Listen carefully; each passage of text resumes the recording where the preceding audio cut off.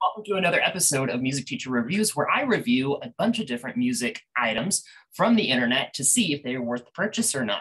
My name is Zach Seckman. I'm a music school owner and teacher based out of Kansas. And today we're going to be reviewing uh, what is called the Portable Drumstick Head by Solo Music Company Limited.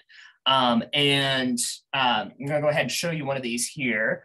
Uh, they are um, little rubber kind of silicone tips that you put on your drumsticks that is supposed to help cut down the noise when you are playing drums. So they are kind of, they got the classic oval shape that you'd see on a lot of drumsticks.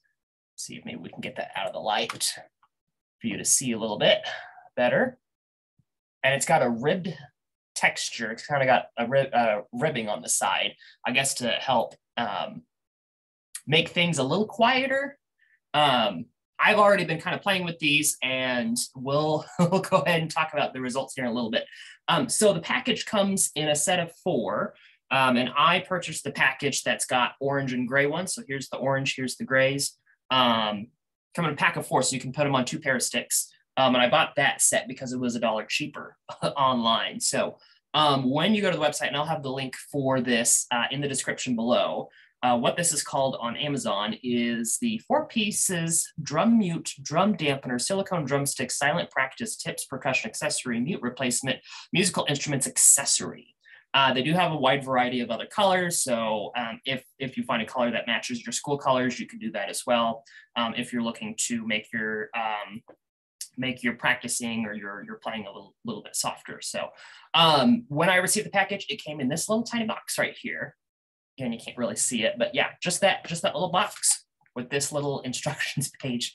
And it's got two instructions here. Step one, see, there's the English. Step one, place it on the stick. Step two, push it down on the stick. Uh, so since there are four tips in this uh, box here, um, I grabbed four pair of sticks and we're going to put them on uh, different types of sticks uh, with different heads so we can see how easy they are to put on and off um, and to, to kind, of, kind of compare. So we're going to start with that here first. Um, so this is the one that I've been testing these uh, tips with. These are my uh, Buddy Rich uh, signature series from Vic Firth. I want to put one of them on. And the tip, let me show that to you here real quick. It's kind of more of a, a rounded off tip. It doesn't have a, a separate, um, doesn't look like it has a separate uh, tip from the rest of the shaft. Uh, but those are just easy to put on just like that and it almost it almost reminds me of those like eraser toppers on pencil. That that that's kind of what it reminds me of. So there it is on. So gonna have to wiggle and shove. There you go. If you heard that pop, that's that's how it comes off. So I'm gonna put that back on because we're gonna play with it here a little bit. Uh, next, I've got another Vic Firth. I didn't do this on purpose. I just have a lot of Vic Firth sticks. These are my Vic Firth uh, American Classic 7As. So um, it's kind of got a rounded tip, but the bottom is a little bit squared off. Uh, these, pretty easy to put on, easier to take off. That pop is really satisfying if you're if you're into things like that. Next, I got this is going to be um, interesting. These are Vic Firth American Custom SD1 Generals. So these have the ball tip on them. Uh, makes the rolling a little bit easier, but we'll see. So putting putting one of these on well this this will be interesting because it does not match the normal oval shape of a traditional drumstick or a standard drumstick. And this one's a little bit of a challenge to put on.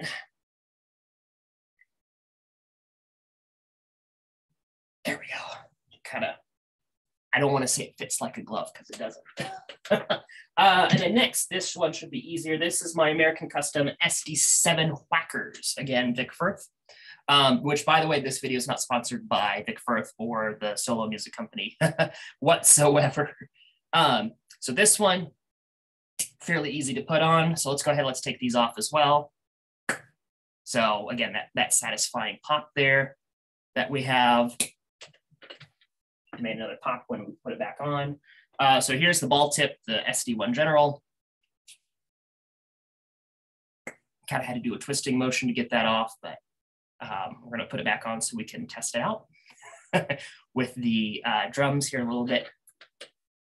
It has a little bit of a space there at the top, and I'm not, not a big fan of that. Okay, so here is the seven A's. Easy to take off, easy to pop on. We already did that with the Buddy Rich sticks here. So on my drum set here, this is a Pearl, which one is this? Pearl Export series. Uh, I think this one was made in the 90s, maybe late 80s. Um, but I already have mutes on this drum because I'm in a music school. We need to keep the sound down. Um, and so um, I already have these blue circles on here. I actually got a uh, yoga mat and cut them down to size. And I, with the yoga mat, I was actually able to make two sets with my other drum set um, in our other teaching room here. So I already have those mutes on there. They cut down the sound pretty well. Uh, the reason why I looked into these uh, tips, uh, stick tips, uh, is because I wanted to try something different, see if it would help cut down the sound a little bit more um, and things like that. So what we're going to do, I'm going to test out each of these sticks um, with both the non-tipped stick, so the one without the, the tip mute, um, and then one with the tip mute. So one without, one with. Um, uh, I'm also going to try these out with the mutes on the instruments and the mutes out off the instrument there. So I'm going to start off with my Buddy Rich sticks here. So I'm just going to go around. I'm going to play uh, my crash, snare, uh, a tom, and then my ride cymbal here. So here it is with the uh, non-tip stick.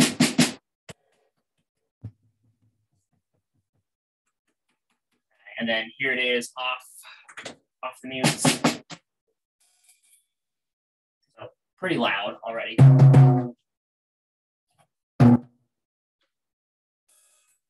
Right. Now here it is with the uh, rubber tip on it, uh, which is what we're reviewing. Not, not too big of a difference in sound. That does kind of help the uh, cymbals here. It definitely cuts down when we when we try on the yoga mat, the cutout yoga mat here. Okay, so there's off the off the there on the ride that's probably not going to cut it. that's probably not going to cut it on the uh, toms here. Okay, and then here is the snare. But that that did not really cut down any of the sound here. So let's try it with the other sticks. Here's the seven A's, uh, which is actually what I use a lot of the time. Um, I'm in the school of thought that you use thinner sticks when you're on the drum set. Again, that's just personal preference here. So without without the stick or without the tip, and then here it is without the.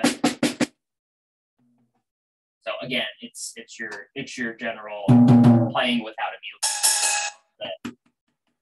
on the uh, instruments, change there.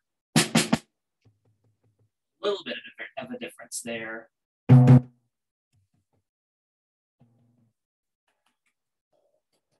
So really, so far, these are these are affecting the cymbals more than they are the drums. Um, uh, let's move on to the SD1 generals. Yep. Um, again, these have the ball tips on them and they don't quite fit the shape because again, the, the tips here um, that we're reviewing are oval shaped. These are rounded shaped. So there's virtually, so going back and forth like that on my snare, there's virtually no difference. same thing there. Yeah, no difference there. Maybe a tiny bit of difference on the uh, toms here. Tiny, tiny. Okay. So a tiny bit of difference there with the uh, cymbal. And then same thing here, these are my SD7 rockers that have an oval nylon tip on them. No change there. Use Miss Stevens script there. No change there. Tiny bit of difference there. Tiny bit of difference there big difference there and barely any difference there. So again, those are four different types of sticks. Um, I do have other sticks that uh, we could try, but for the sake of time, we're gonna we're gonna um, not use those sticks. So um, as a music teacher, as a drum teacher myself, I am kind of on the fence with these.